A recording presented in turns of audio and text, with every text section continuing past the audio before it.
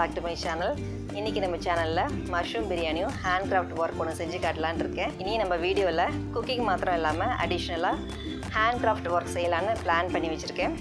நீங்கள் இதுக்கு தொடர்ந்து சப்போர்ட் பண்ணணும். நீங்கள் சப்போர்ட் பண்ண பண்ண தான் நான் அடுத்த வீடியோ எப்படி டெவலப் பண்ணலான்றதை யோசிக்க முடியும். வீடியோவை ஸ்கிப் பண்ணாமல் முழுசாக பாருங்கள் அப்போ தான் நான் என்ன பண்ணியிருக்கேன்றது உங்களுக்கு தெரியும். வாங்க வீடியோக்குள்ளே போகலாம் இன்றைக்கி மஷ்ரூம் வச்சு தான் ஒரு ரெசிபி செஞ்சு காட்ட போகிறேன் மஷ்ரூம் சொன்னாலே எல்லாருக்கும் ரொம்ப பிடிக்கும். நம்ம நான்வெஜ் சாப்பிடாத நேரத்தில் மஷ்ரூம் தான் ரொம்ப ரொம்ப விரும்பி சாப்பிடுவோம். மஷ்ரூமில் mushroom tikka mushroom sixty five mushroom கறி மஷ்ரூம் கிரேவி மஷ்ரூம் பிரியாணி இந்த மாதிரி சொல்லிட்டு போயிட்டே இருக்கலாம். நான் அதில் இன்றைக்கி மஷ்ரூம் பிரியாணி தான் செஞ்சு காட்ட போகிறேன் என்னடா இது மஷ்ரூம் பிரியாணின்னு சொல்கிறாங்களேன்னு பார்க்காதீங்க. இல்லை ஏற்கனவே நாங்கள் செஞ்சு பார்த்துருன்னு சொல்கிறது என் காதில் விழுது. எல்லா மெத்தட்லையும் செஞ்சு பார்த்துருப்பீங்க. இப்போ என் ஸ்டைலில் நான் செஞ்சுருக்கேன். அதையும் நீங்கள் ஒரு டைம் செஞ்சு பார்த்தீங்கன்னா அது எவ்வளோ டேஸ்ட்டாக இருக்குன்றது உங்களுக்கு தெரியும். இதை குக்கர்லேயும் செய்யலாம் தம் பிரியாணியும் செய்யலாம். இது இன்றைக்கி நான் குக்கரில் செஞ்சு காட்ட போகிறேன் மஷ்ரூமில் நிறைய ப்ரோட்டீன்ஸ் பிரெயினுக்கு ரொம்ப நல்லது. இது மாதிரி நிறைய நியூட்ரிஷன் இதில் இருக்குது இப்போ வாங்க அதுக்கு தேவையான பொருட்கள் என்னென்னு பார்த்து பாஸ்மதி ரைஸில் தான் செய்ய போகிறேன் இந்த டம்ளரில் ஒன்றரை டம்ளர் எடுத்திருக்கேன். அது இருபது நிமிஷம் ஏற்கனவே ஊற போட்டு வச்சுருக்கேன். அது இல்லாமல் ஒன்றரை பெரிய வெங்காயம் ஒரு பச்சை மிளகாய் இது காரமாக இருக்கணும் ஒன்று போட்டிருக்கேன். காரத்தை வந்த மாதிரி போட்டுக்கோங்க. ஒரு பெரிய தக்காளி ஃபைனாக சாப் பண்ணியிருக்கேன். புதினா மல்லி ஃபைனாக அதையும் கட் பண்ணி வச்சுருக்கேன். இது ஷாஹி ஜீரா இது வந்து பிரியாணிக்கு நல்ல ஃப்ளேவர் கொடுக்கும். இது அரை ஸ்பூன் எடுத்திருக்கேன். கரம் மசாலா கரம் மசாலா அரை ஸ்பூன் ஷாஹி பிரியாணி மசாலா கடையில் இருக்கும். அது ஒரு முக்கால் ஸ்பூன் போட்டிருக்கேன். இஞ்சி பூண்டு பேஸ்ட் முக்கால் ஸ்பூன் தாளிக்கிறதுக்கு ஒரு பே லீஃப் ஸ்டார் அனேஸ் பட்டை கிராம்பு ரெண்டு ஏலக்காய்.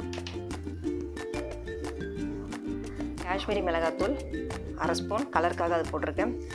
அரை ஸ்பூன் மிளகாத்தூள் இது காரமாக இருக்கும். அப்புறம் மஞ்சத்தூள் கால் ஸ்பூன். இதுக்கு தேவையானது இவ்வளோ தான் குக்கரில் கொஞ்சம் எண்ணெய் நெய் ஊற்றி சூடு பண்ணி வச்சுருக்கேன். இப்போ தாளிக்க வேண்டியது எல்லாத்தையும் போட்டுடலாம். பொரிஞ்சதுக்கப்புறமா லாஸ்ட்டாக அந்த ஷாஹி ஜீரா போடுங்க. சிம்மில் வச்சுட்டு போடுங்க வெடிக்கும்.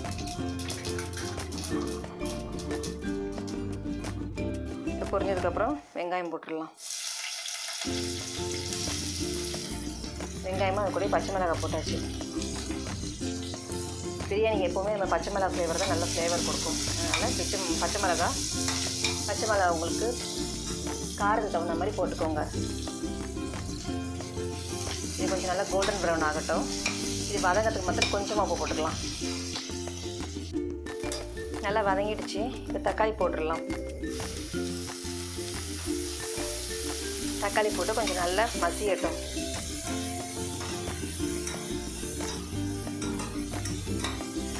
கொஞ்சம் மசிஞ்ச உடனே நம்ம இஞ்சி பூண்டு பேஸ்ட் போட்டுடலாம்.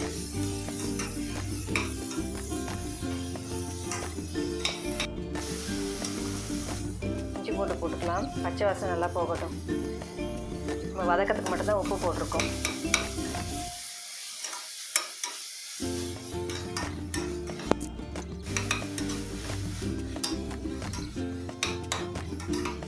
பச்சை வாசனை போனதுக்கப்புறமா காரெல்லாம் சேர்த்துடலாம். இஞ்சி போட்டு பச்சை வாசனை போயிடுச்சு. மிளகாத்தூள் மஞ்சத்தூள் அதெல்லாம் சேர்த்துடலாம். கரம் மசாலா பிரியாணி மசாலா பாதி பாதி போட்டுக்கலாம். இது வதங்கின உடனே நம்ம கட் பண்ணி வச்சுருந்து மஷ்ரூம் போட்டுடலாம்.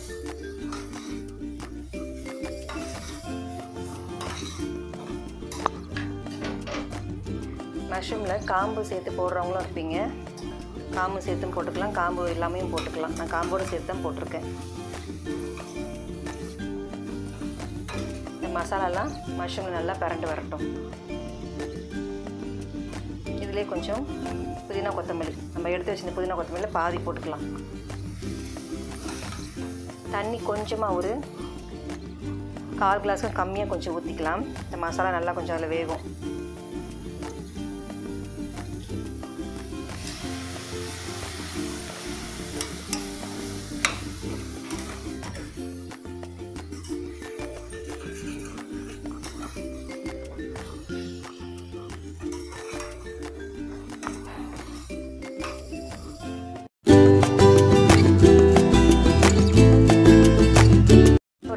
இந்த டிப் நான் கொஞ்சம் நல்லா தான் ஃபாலோ பண்ணிகிட்ருக்கேன் மஷ்ரூம் வந்து லோ லெவலில் விளையிறது. அதில் நிறைய மண் இருக்கும். நம்ம வந்து கழுவுறதுக்கு கொஞ்சம் கஷ்டமாக ரெண்டு மூணு தடவை கழுவோம் நம்ம தண்ணியில் போட்டு.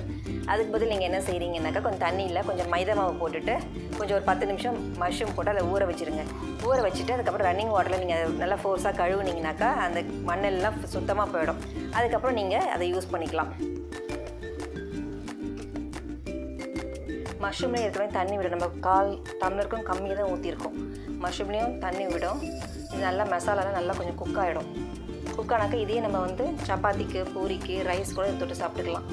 அப்படியே நீங்கள் இதை வந்து யூஸ் பண்ணிக்கலாம். இது வதங்கின உடனே நம்ம ஊற வச்சுருந்தா அரிசியை போட்டுடலாம் இப்போது அடுப்பை சிம் பண்ணிக்கலாம்.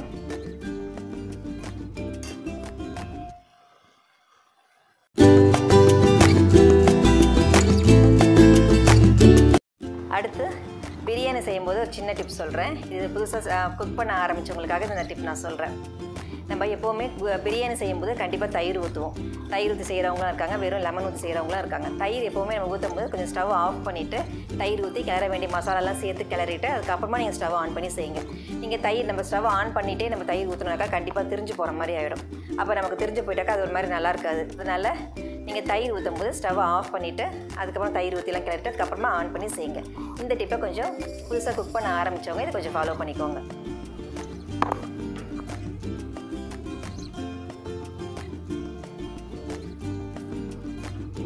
பாஸ்மதி ரைஸ் சீக்கிரம் குக் ஆகிடும் ஒன்றரை டம்ளர் அரிசிக்கு ரெண்டரை தான் தண்ணி ஊற்ற போகிறேன் மற்ற அரிசிக்கெலாம் நம்ம கரெக்டாக ஊற்றுவோம் ஒன்றரைனா மூணு ஊற்றுவோம் பாஸ்மதி பொறுத்த வரைக்கும் அரை கம்மி பண்ணிக்கலாம். சீக்கிரம் வெந்துடும் அப்போ தான் கொஞ்சம் பொல பொலன்னு வரும்.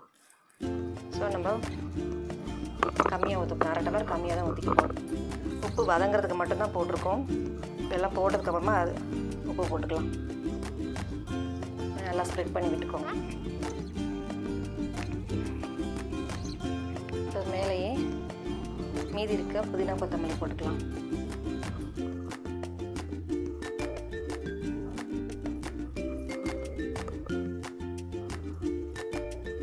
ஃப்ரைட் ஆனியன் ஏற்கனவே நான் ரெடி பண்ணி வச்சுருக்கேன். அதையும் மேலே போட்டுக்கலாம்.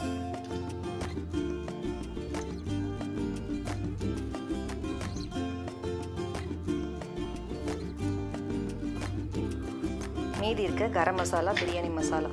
அப்படியே ஸ்ப்ரெட் பண்ணி விட்டுக்கோங்க.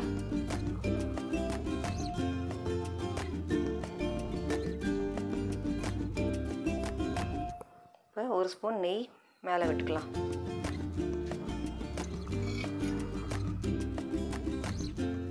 எவ்வளோ தேவையோ அவ்வளோ ஊற்றிக்கோங்க. நான் ஒரு ஸ்பூன் தான் ஊற்றுறேன் இப்போ உப்பு நம்ம போட்டுடலாம்.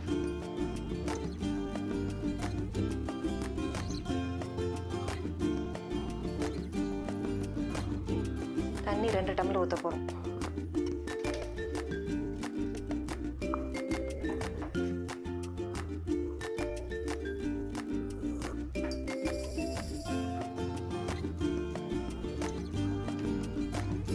கிளறி விடாமல் ஒரு ஃபோர்க் எடுத்துகிட்டு இந்த மாதிரி குத்தி குத்தி விட்டாக்கா தண்ணியெல்லாம் அடி வரைக்கும் போயிடும். அடி பிடிக்காது.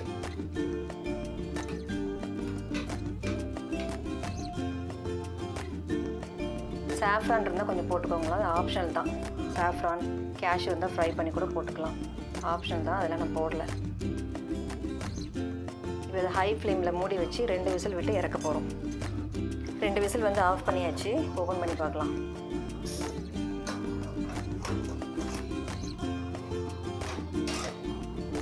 நல்லா போல போல வந்துச்சு உடனே நம்ம கரண்டி போட்டு கிளறாமல் ஒரு ஃபோர்க் எடுத்துக்கோங்க. ஃபோர்க் எடுத்துகிட்டு கிளறி விட்டோம்னாக்கா சரியாக இருக்கும். நல்லா அரிசி உடையாமல் நல்லா பொல பொலன்னு வந்திருக்கு. இப்போ இதில் நம்ம வதக்கும் போதே லெமன் பிழிஞ்சு விட்டுக்கோங்க. லெமன் பிடிக்கலனாக்கா தயிர் சேர்த்துக்கலாம். நான் தயிர் சேர்க்கல. லெமன் மட்டும் தான் ஊற்றிருக்கேன் லெமன் சொல்ல மேடம் என்னோட ரெண்டு பசங்களும் ரொம்ப நல்லா இருக்குன்னு சொல்லிட்டாங்க. இப்போ நான் டேஸ்ட் பண்ணி எப்படி இருக்குன்னு சொல்கிறேன்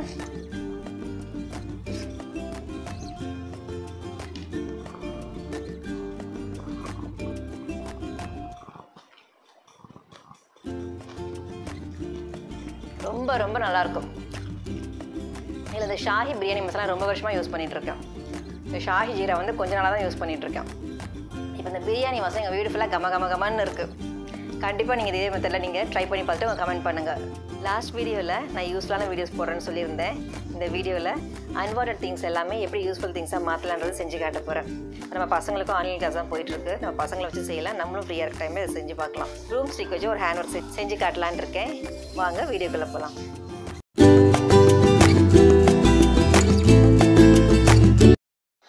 ப்ரூம் ஸ்டிக்கில் ஒரு ஹேண்ட் ஒர்க் செஞ்சு காட்ட போகிறேன் ஃபஸ்ட் அதுக்கு என்னென்ன தேவையான பொருள்னு பார்த்துடலாம். நான் nine broom stick broom stick எடுத்திருக்கேன். ஆல்ரெடி நான் அதை வந்து கவர் பண்ணி வச்சுட்டேன். அதை நான் எப்படி செய்கிறேன்றது அப்புறம் சொல்கிறேன் ஃபெவிகால் அதுக்கப்புறம் ஆர்டிஃபிஷியல் ஃப்ளவர்ஸ் அப்புறம் நம்ம ஃப்ளவர் வைக்கிறதுக்கு ஸ்டாண்டு இப்போ இந்த ஃப்ளவர் ஸ்டாண்டை வந்து நம்ம என்ன ஷேப் வேணுமோ அதே தான் கார்ட்போர்ட் பாக்ஸ் இருக்குது இல்லையா? அது வந்து நம்ம என்ன சைஸ் வேணுமோ அது மாதிரி கட் பண்ணிக்கிட்டு அது மாதிரி நம்ம பசங்களை சொல்லணுனாக்கா நம்ம செஞ்சு கொடுத்துருவாங்க. என்ன வேணுமோ அவங்க ட்ரா பண்ணி கொடுத்துருவாங்க. என் பையனை செஞ்சு கொடுத்தான். சிம்பிளாக இருக்கட்டும் அப்படின்னு இந்த மாதிரி செஞ்சு கொடுத்துருக்கான். இப்போது இது எப்படி நான் ரேப் பண்ணேன்றதை காட்டுறேன். இந்த மாதிரி பேப்பர் நான் பாதியாக கட் பண்ணி எடுத்திருக்கேன். நான் நியூஸ் பேப்பர் ரேப் பண்ணிவிட்டு அதுக்கப்புறம் தான் இந்த மாதிரி ஒயிட் பேப்பர் போட்டிருக்கேன். நீங்கள் ஒயிட் பேப்பர் போடுறதுக்கு பதில் நீங்கள் கலர் பண்ணிக்கிட்டாலும் நல்லா தான் இருக்கும் எண்ணில் வச்சுட்டு இப்படியே சுற்றிக்கோங்க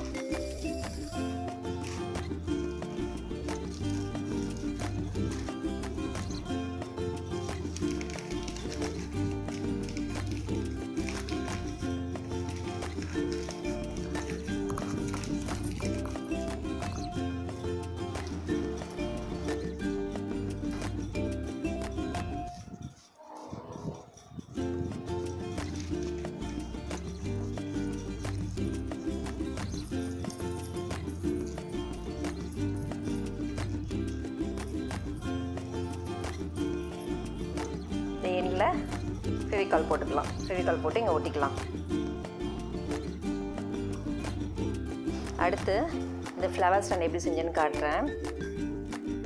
நான் கார்ட்போர்ட் ஷீட்டில் தான் செஞ்சுருக்கேன். இப்போ பேப்பரில் செஞ்சு காட்டுறேன். இந்த மாதிரி நான் ஸ்கொயர் டைப்பில் தான் கட் பண்ணிவிட்டு நம்ம சமோசாலாம் செய்வோம் பார்த்திங்களா அதே மாதிரி ஷேப் அதே மாதிரி தான் செஞ்சுக்க போகிறோம் க்ராஸாக இப்படி வச்சுக்கோங்க. க்ராஸாக வச்சுக்கிட்டு இந்த மாதிரி உள்ள ஹோல் இருக்கணும். கீழே எடுத்து மடிச்சுக்கோங்க. பின்னாடி சைடு இதெல்லாம் வரும். ம்? பின்னாடி சைடு வச்சுட்டு இது மாதிரி ஃபெவிகால் போட்டு ஒட்டிட்டேன் நான். ஒட்டிட்டு அதுக்கப்புறமா ஒயிட் பேப்பர் போட்டு ஒட்டிட்டு கலர் பண்ணியிருக்கேன். இந்த மாதிரி தான் செஞ்சுருக்கேன். இது மாதிரி தான் இது மூணும் செஞ்சுருக்கேன். மூணு ஃப்ளவர் ஸ்டாண்டு செஞ்சுருக்கேன். இப்போ எப்படி செய்யலான்றதை பார்த்துடலாம். மொத்தம் நைன் ஸ்டிக் இருக்குது ஃபஸ்ட்டு மூணு இங்கே வச்சுருக்கேன். இன்னொரு மூணு எடுத்துக்கலாம். மூணு எடுத்துகிட்டு இந்த எண்டில் இருந்து. இந்த எண்டில் ஒன்று இங்கே ஒன்று இங்கே ஒன்று வைக்க போகிறோம் இதை வந்து ஃபெவிகால் வச்சு ஒட்டிக்கலாம். இங்கே ஒட்டியாச்சு. அடுத்து மூணு இருக்க ஸ்டிக்கை இந்த சைடில் ஒட்டிக்கலாம். இங்கே மூணு. இந்த சைடு நல்லா ஒட்டியாச்சு. இப்போ குட்டி குட்டியாக ஒரு ஆறு பீஸ் எடுத்திருக்கேன். இந்த இடம் நமக்கு வந்து எம்டியாக இருக்குது அதனால் இது இங்கே மூணை ஃபில் பண்ணிடலாம். அதே மாதிரி இந்த பக்கம் மூணு இந்த பக்கம் மூணு வச்சு ஃபெவிக்கால் வச்சு ஒட்டிடலாம். இப்போ எல்லா பக்கமும் நம்ம ஸ்டிக் பண்ணியாச்சு. இப்போ இந்த ஃப்ளவர் ஸ்டாண்டை இங்கே ஒன்று அப்புறம் இங்கே ஒன்று அப்புறம் இங்கே ஒன்று இங்கே ஒன்று அதே மாதிரி ஃபெவிக்கால் வச்சு நம்ம ஒட்ட போகிறோம் இது நம்ம ஃபெவிக்கல் ஓட்டனால பத்து நிமிஷம் வெயிட் பண்ணியாச்சு. அப்புறம் நல்லா ஸ்டிக் ஆகிடும் இப்போ இதில் நம்ம என்ன ஆர்டிஃபிஷியல் ஃப்ளவர் இருக்கோ வச்சுக்கலாம். இப்போ இந்த மாதிரி நான் வச்சுருக்கேன். இப்போ இதில் வச்சு காட்டுறேன். இப்போது எல்லாத்துலேயும் ஆர்டிஃபிஷியல் ஃப்ளவர் வச்சாச்சு. பார்க்கறதுக்கு எவ்வளோ அழகாக இருக்குது பாருங்கள் நம்மளே ஈஸியாக செஞ்சாச்சு இது. இது வந்து டெக்கரேட்டிவ் திங்ஸ்னால நம்ம எங்கே வேணால் வச்சுக்கலாம். நம்ம ஹாலில் ஹேங் பண்ணிக்கலாம் கிச்சனில் ஹேங் பண்ணிக்கலாம் நமக்கு எந்த இடத்துல பிடிச்சிருக்கோ அந்த இடத்துல நம்ம அழகாக இதை ஹேங் பண்ணிக்கலாம். இது நம்மளே செஞ்சுருக்கோன்றதுனால ரொம்ப ஹாப்பியாக இருக்கும். இதை கண்டிப்பாக நீங்கள் உங்கள் வீட்டில் ட்ரை பண்ணி பாருங்கள் இது உங்கள் செஞ்சது உங்களுக்கு பிடிச்சிருக்கோன்னு நம்புகிறேன் அடுத்த வீடியோவில் மீட் பண்ணலாம். இந்த வீடியோ உங்களுக்கு பிடிச்சிருக்கோன்னு நம்புகிறேன் இந்த வீடியோ நான் புதுசாக ட்ரை பண்ணியிருக்கேன். நீங்கள் இந்த வீடியோவை என்கரேஜ் பண்ண பண்ண தான் நான் அடுத்த வீடியோ எப்படி டெவலப் பண்ணலான்றதை நான் யோசிக்க முடியும். இந்த வீடியோ உங்களுக்கு பிடிச்சதுன்னா லைக் அண்ட் ஷேர் பண்ணி சாய்ராம் கிச்சன் சப்ஸ்கிரைப் பண்ணிடுங்க. மறக்காமல் பக்கத்தில் இருக்க பெல் ஐக்கானை ப்ரெஸ் பண்ணிடுங்க. அடுத்த ஒரு நல்ல வீடியோவோட உங்களை மீட் பண்ணுறேன் ஃப்ரெண்ட்ஸ் தேங்க்யூ